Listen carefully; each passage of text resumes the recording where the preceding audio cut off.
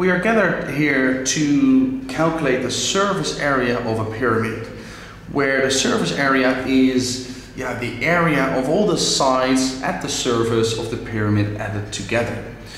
And there isn't a formula that will do that for me. There is not one formula that's going to give me the surface area of a pyramid. No, I have to approach it in a similar way as uh, with most other figures is that I find the area of each face yeah? So I look what kind of a figure is it and I calculate the area of each face and at the end I plus all those faces uh, all those areas together.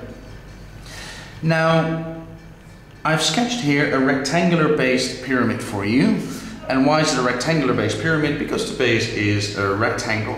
Yeah? Because you know by now that the pyramid gets its name from yeah the shape of its base. Yeah? So a rectangular based pyramid. And it is 7 centimeters by 6 centimeters and the slant height and that is important in a minute the slant height is 12 centimeters all right and the question now is what is the surface area now especially in the beginning it is a very wise idea to sketch a net of the situation all right so I'm going to do that here next to it. I'm going to sketch the net, so I'll start with the base. Eh? So the net, it's, I'm looking on top of it now, and um, if I would cut it out, I would basically be able to make that pyramid. Okay, so this is roughly, it's just a sketch, the net of the situation. Oh, that's horrible, isn't it? Okay, anyway, well, roughly like that. Okay, that is my um, pyramid. I'm going to add the values there. This is um, 7, that one is 7, this is 6, and that one is 6. And the slant height is 12. So that is this length, uh, that all is 12. Okay, good. Now I'm going to find the areas of my 1, 2, 3, 4, 5 faces and then I'm going to add them together. However, I realize that these two triangles are similar yeah, so if I find the area of this one, I'll times it by 2, and then I have both of them. And these two are similar, yeah? So please notice that these two are not similar because this one is 7 and that one is 6, okay? But they are similar and they are similar. Okay, very good. I'm going to start with the base because what kind of a shape is the base? Now the base is a rectangle here, a rectangular based uh, pyramid. So that is a rectangle and um, yeah, what is the area of a rectangle? Uh, how do you calculate the area of a rectangle? Just gonna put a little one here because that will refer, I'm going to do a new page now because it's not gonna fit. So I'll put a little one here as well. Okay, so that is my base and a rectangle, the area is length times width. So that was seven times six and that equals to 42 centimeters squared. Okay, and now if I go back here, let me do those triangles. So which one shall I do first? It doesn't matter. I'm going to put a little 2 there over here. Um, and that is the same as this one then. Okay, so I'll put a little 2 there as well, yeah, because they are the same. And now I have to really be careful because a triangle, the area of a triangle is base times height divided by 2, where the base and the height make an angle of 90 degrees. And some of you are going to say, oh, so 6 times 12 divided by 2. Yeah, but hang on a minute. Do they make an angle of 90 degrees? They don't. This is the slant height. Because what is the height, uh, what is the height I need? I'm looking for this height. Yeah, because that length then times 6 divided by 2 is going to be the area of my triangle. But they don't give me that height it's, it's not given, also not in my pyramid, it's not given. So is it therefore impossible for me to solve this? Is this a reason for me to get nervous?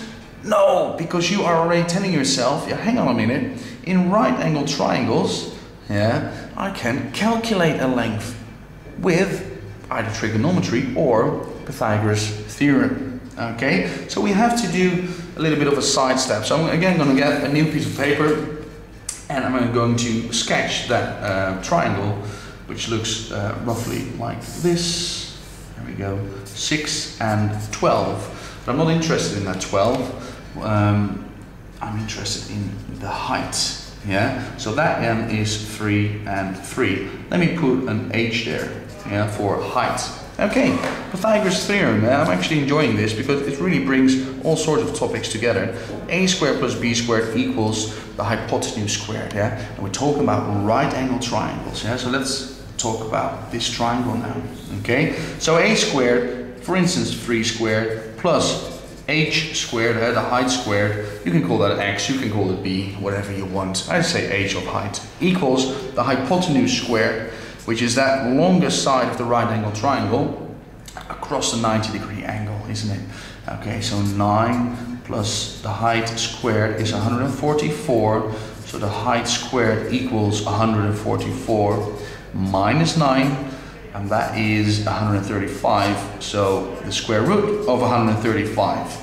And that equals, and I'm going to write down all my decimals, all my decimals, uh, square root of 135 because this is not my final answer. I can't round yet. 11.601895004. Okay, that's the height of that triangle. Now, um, I have a lot of papers, but let me go quickly here now again. So the height here, that's the height I just found, 11.61 and a few more decimals. Okay, so I am going to continue now over here where I am calculating uh, the areas. That was of my base. Now of that triangle.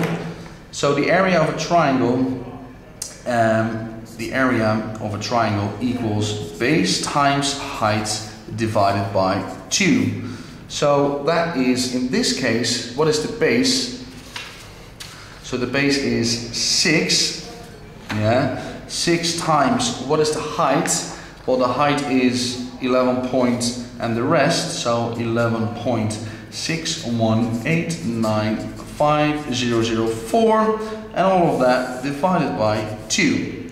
And that is going to give me, let me have a look, times 6 equals divided by 2 equals, and that is 34.856850012 centimeters squared. All right. So that is a triangle, but I have two of them. Yeah. So if I go back to my net, I have one here, and that one is exactly the same. And so I have two of them. So um, let me write down times two. Yeah. So I'll do times two, that answer, and that is 69 0.7137023 centimeters squared.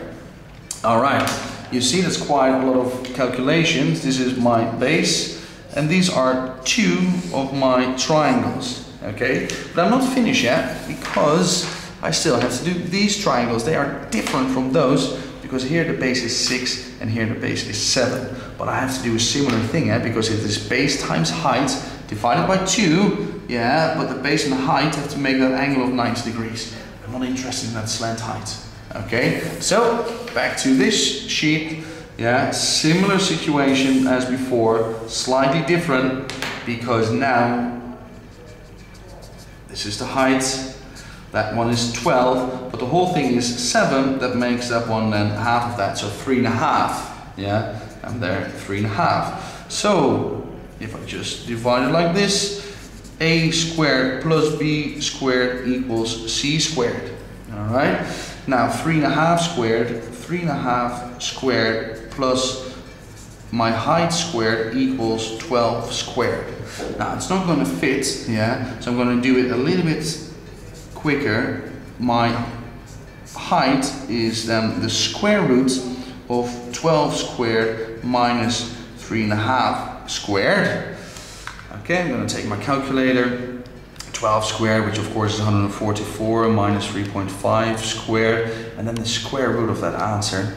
And that is going to be 11.47824028. Still all the decimals because I cannot round in the middle of my calculations. Yeah? So, the area now of this triangle, which is the same as the area of that one, is going to be 7 times 11.47 and more decimals divided by 2. So I'll put a little 3 here to structure my workings. Uh, 1, 2, 3. There we go. And that then refers to this one, 3. Okay, now is that going to fit? No, it's not. Okay, so I'm going to work it out on paper number 4. Okay, so area of a triangle is base times height divided by 2, uh, or half times base times height, it's all the same. The base is 7 times the height we just calculated is 11.47824028 divided by 2 equals, okay, let me grab my calculator, times 7 equals, divided by 2 equals, so one of those triangles is 40.1738 4099. Okay, that's the area of one triangle, but I have two of them. Okay, so what do I do with a number? I multiply that by 2, and then I'll have the area of both. So that number times 2, and divide by 2 times 2. Anyway, 80.34768198 centimeters squared. All right, I'm going to write the number now here. So what do we have? We had just said 80.34768198 centimeters squared. Excellent. So I'm completely in control of my workings. Yeah? I found the area uh, of my base, which is a rectangle. I found the area of two of those triangles at times two. Yeah, but before I could do that, I had to find the height using Pythagoras theorem.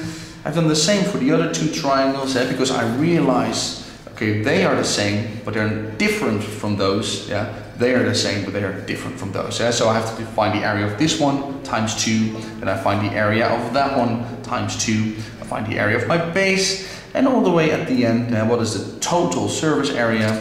Well, that is going to be this one plus that one plus that one. Okay, so I'm going to grab my calculator. This one is already my calculator, so plus, I'll put in that number now, 69.71370023 equals plus 42, that goes a little bit quicker, there we go, equals.